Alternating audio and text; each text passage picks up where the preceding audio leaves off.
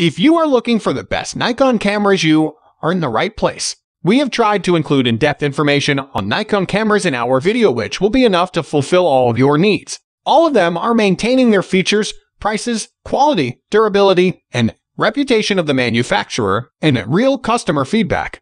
If you want to buy a Nikon cameras, we think this list will be very worthy to you. Now, let's get started with the video.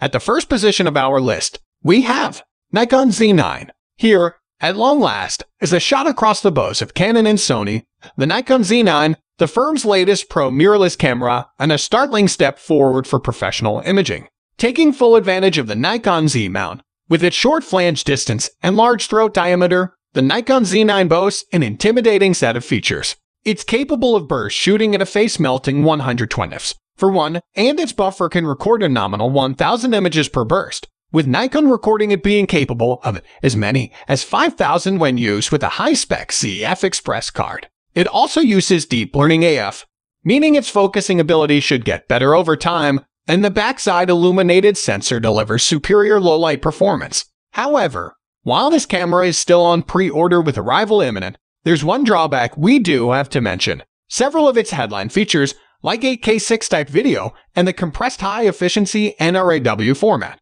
are not going to be available at launch, but will come in a firmware update expected later in 2022. Nikon is not the only manufacturer doing this, but it's still a trend we're not fans of. We've been impressed with what we've seen so far of the Nikon Z9, and we'll update this guide once we've published our full review. Moving on to the next at number 2 with Nikon Z FC. This dreamy camera doesn't just look cool, it's also one of the best beginner to mid-range cameras around. With an APS-C sensor and a sophisticated processor, the Nikon ZFC is a highly capable camera for image makers of all stripes, even if it misses out on a few features like a built-in flash. It's a little pricier than its stablemate the Nikon Z50, and if you don't care about looks then you may want to consider the camera instead, as it's basically the same deal. However, we're utterly charmed by the style and presentation of the Nikon ZFC. Can't resist the look and feel of the best retro cameras. Then look no further. The Nikon Z FC will suit you down to the ground. The number 3 position is held by Nikon Z5.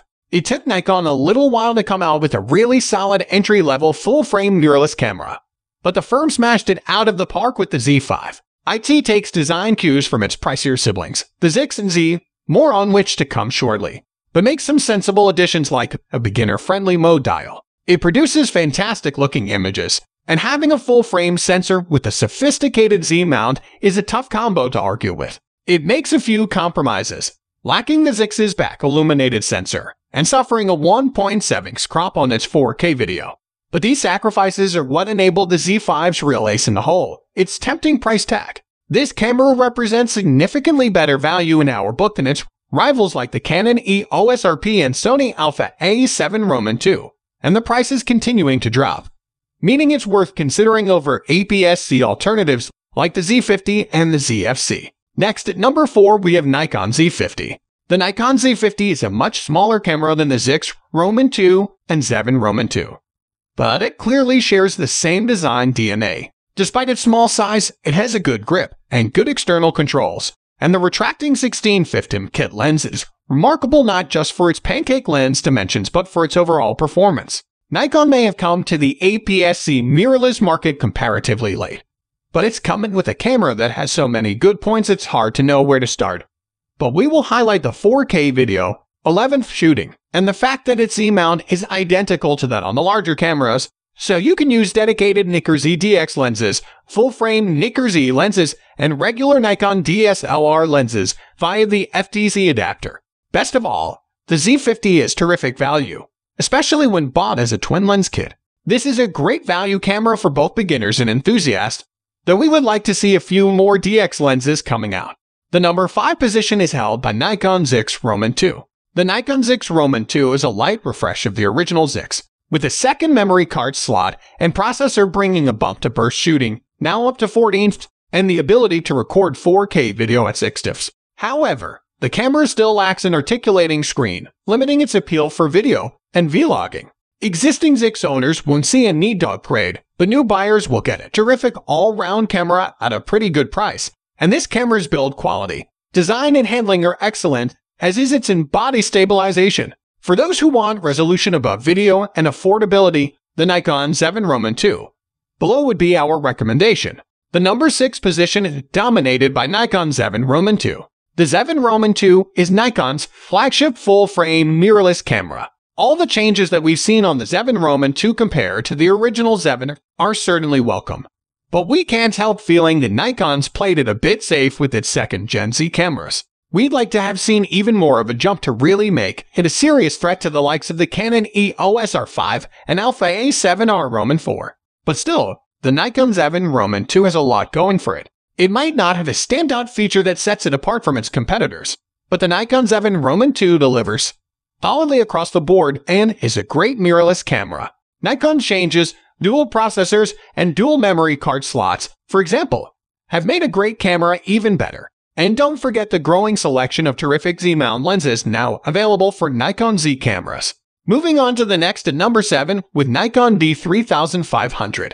While you're still learning photography and deciding what sort of camera will suit you best, you should pick a camera that's simple enough to understand straight away and affordable enough that you can change your mind and swap later if you decide you need something different. The D3500 is the entry-level model in Nikon's DSLR range, but it has a 24.2 MP sensor as good as those in cameras at twice the price, and it offers a very good 5 continuous shooting speed for a starter camera.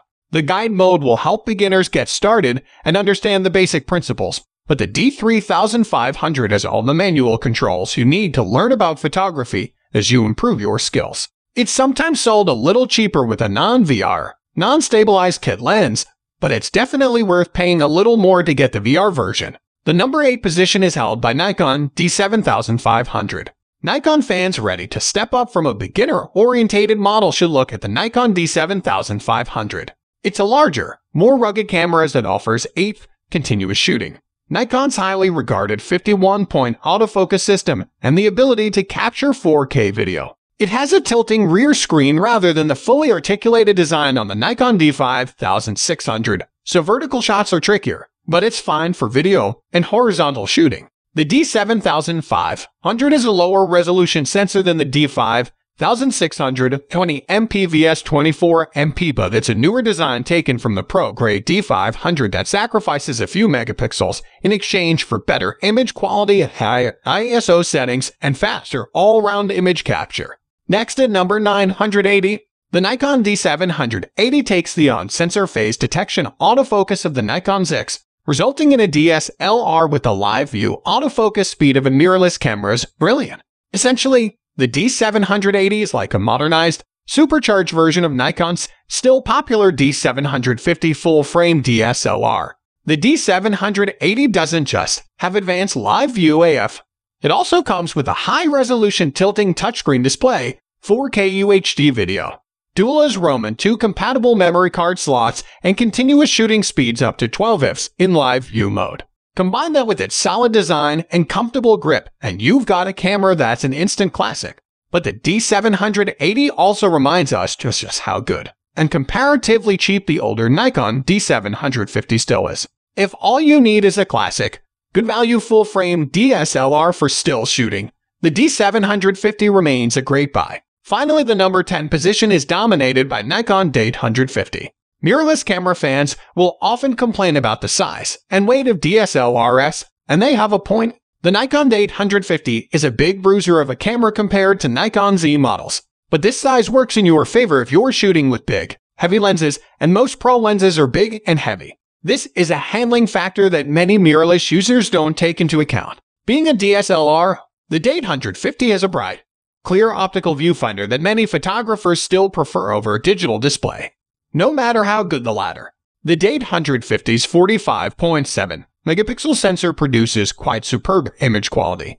Yet it can still maintain a shooting speed of 7 frames per second, or 9 frames per second with the optional battery grip. Even without the grip, the D850 has an amazing battery life of 1,840 shots, far more than any mirrorless rivals, and it comes with two memory card slots, one for an XQD slash CF Express card and one for regular SD slash SDHC slash SDXC. That's all for today. All the product links in the description down below. We upload videos every single day, so don't forget to subscribe and hit the bell button for the upcoming video notification.